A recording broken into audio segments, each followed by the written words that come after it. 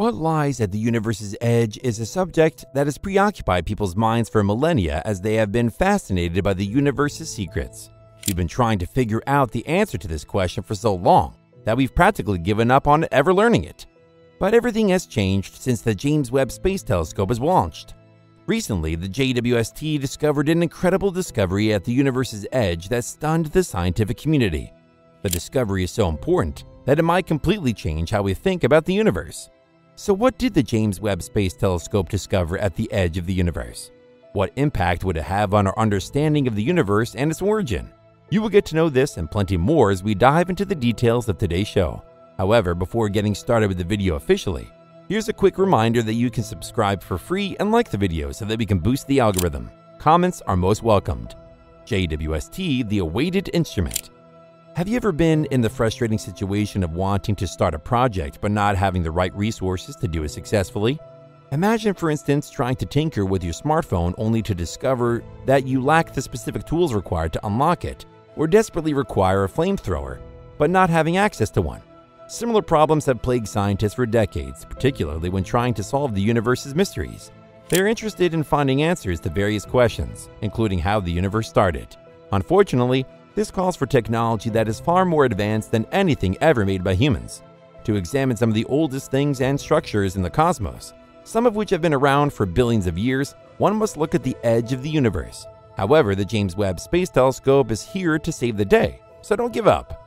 Marvels of JWST Scientists are in awe of the JWST, the most potent telescope ever built, and its capabilities have revealed startling new insights about the universe. It has taken us further from the edge of the universe than ever before and transported us back in time to glimpse the early universe. Now, the JWST has provided us with a photograph of a galaxy cluster and a far off galaxy called MACS 0647JD that has delighted scientists all over the world thanks to its capacity to detect infrared radiation. The cluster appears as a glittering collection of galaxies that stand out against the background of space like gems, thanks to the triple lensing effect produced by gravitational lensing on the JWST. The distant galaxy that was first discovered a decade ago using the Hubble Space Telescope is now being studied in much greater detail.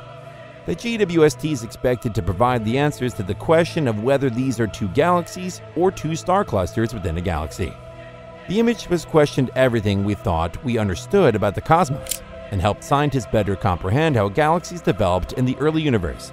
The inventor of the telescope, Galileo Galilei, would undoubtedly be pleased with how far we have come, and the JWST has gone above and beyond by finding galaxies that are beyond even our wildest expectations and some of the most ancient galaxies ever discovered. One of the earliest galaxies to form was Glass Z12, which was discovered about 350 million years after the Big Bang. The JWST also discovered a second galaxy that had formed 450 million years ago after the Great Bang, specifically to avoid Glass Z12. A mere 400 million years after the Big Bang in 2016, the Hubble Space Telescope detected GNZ 11, the oldest galaxy ever discovered. Scientists were astounded to learn that there were even more galaxies in the universe than they had anticipated as they combed through the data gathered by the JWST. The JWST provided us with a front row seat to all of it, allowing us to gain a deeper understanding of the beginnings of our universe. It appears that the cosmos produced galaxies at a rate that was unprecedented, quicker, and earlier than experts had anticipated. Despite being smaller than the Milky Way, both Glass Z12 and the other galaxy are incredibly bright and produce stars at an astounding rate. Galaxies may have begun to arise as soon as 100 million years after the Big Bang, contradicting earlier assumptions about how and when the first galaxies originated. The biggest puzzle, though, is how these ancient galaxies kept their sense of order amid the upheaval of the early universe. Although the universe was a chaotic and crowded place, Glass Z12 and its companion were surprisingly calm and organized. CEERS 933.16. Now, you might feel as though the two far objects mentioned earlier have sufficiently impressed you, but there's still more to marvel at, such as the CEERS 93316 Galaxy candidate. This item made history by setting a record redshift of Z equals 16.7, forming a whopping 250 million years after the Great Bang. Cosmic Evolution Early Release Science Survey, or CEERS, is a unique program created especially for JWST imaging. Scientists still describe it as a galaxy candidate because they are still in the process of using spectroscopy to confirm the redshift. However, the study has already ruled out the possibility that CEERS 93316 is a low mass star or an unobstructed active galactic nucleus based on imaging data from the JWST's primary imager, the NIRCam. What's particularly interesting is that these observations take us back to the Dark Ages before any of the stars we see today even existed, when it was assumed that the universe's initial galaxies were considered to be forming. According to NASA, the JWST is capable of finding galaxies at redshifts higher than 20, or at a time fewer than 200 million years after the Big Bang. These galaxies will undoubtedly be incredibly difficult to find, but thanks to the discovery of CEERS 93316, scientists are encouraged that they might exist. This is what makes the CEERS 93316 discovery such a game changer. It creates a whole new world of opportunities for what else we might learn about the universe. A new discovery. Abell 2744Y1 is a galaxy located at the very frontier of the universe that has scientists humming with excitement. This amazing galaxy is noteworthy for a variety of reasons. One of them is that it is so far away from us that it takes the universe, which is thought to be 13.8 billion years old, an astounding 13 billion years to send light to us.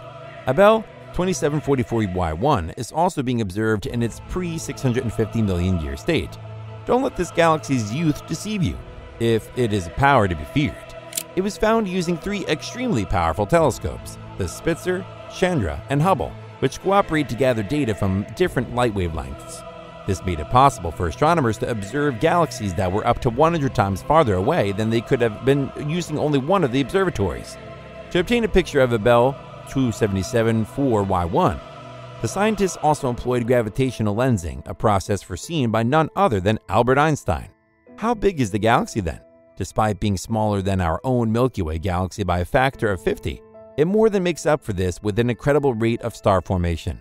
In fact, Compared to the Milky Way, which is a representative of young universe galaxies, it produces stars at a rate 10 times quicker.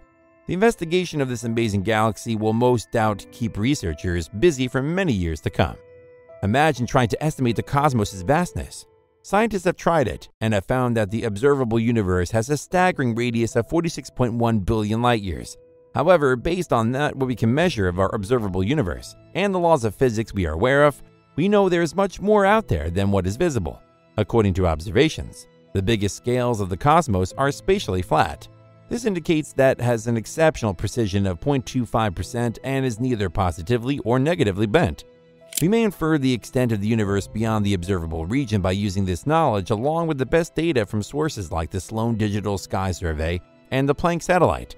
The unobservable portion of the cosmos must be at least 23 trillion light years in diameter, and contain more than 15 million times the volume we can observe if the universe does curve back in on itself and close. The unobservable universe, according to some scientists, ought to be even larger, as the hot Big Bang might not have actually created space and time, but rather only the observable universe. This is due to the fact that prior to the Big Bang, the cosmos experienced a period of cosmic expansion. During this time, the universe was made up of a space based energy rather than matter and radiation. The lowest physical length scale, the Planck length, would be stretched to an extent of the currently observable universe every 10 raised to the power of negative 32 seconds due to the expansion's constant exponential rate, which created new space so swiftly. There are still three important unsolved questions that directly impact the size of our universe, despite the fact that inflation has ended in our part of the world. These queries revolve around the possibility of an infinite universe. They are specifically interested in the size of the post inflationary region of the cosmos that gave rise to the hot Big Bang. Two is the concept of perpetual inflation, according to which, in some areas, the cosmos expands indefinitely into the future. True? And three, how long did inflation last before it came to an end and the hot, huge bang that followed? While it's possible that the universe where inflation took place barely grew to a size larger than what we can see, there's also a chance that proof of an inflationary edge will eventually emerge. It's also plausible that there are many more universes out there that are identical to ours in terms of physical structure, and adherence to the same physics as ours. This opens the intriguing possibility that complex life could exist on one of the countless other worlds in the universe. Additionally, the bubble in which inflation ended should have a finite size on a scale, with an exponentially large number of such bubbles contained within the larger expanding space-time. We approach GNZ 11, the furthest galaxy ever seen by humans, after traveling to the outer extremities of the cosmos. An astounding 32 billion light years separate our world from this celestial beauty, At the surface of the last scattering, we are a staggering 46 billion light years distant from Earth, if we take the expansion of space into consideration. After recombination and photon decoupling, the first cosmic microwave background radiation photons appeared in this region. It is, in a sense, the edge of the cosmos and the site of the first light scattering. It designates the edge of the observable universe, representing the limit of what we can see. With that, we have reached the end of today's show. What do you have in mind about the above still unanswered question? Do let us know in the comment section below. If you enjoyed this video, please hit the thumbs up. It will help us to understand our audience and allows YouTube to suggest similar videos to you. Thanks for watching, and we hope to see you at the next one.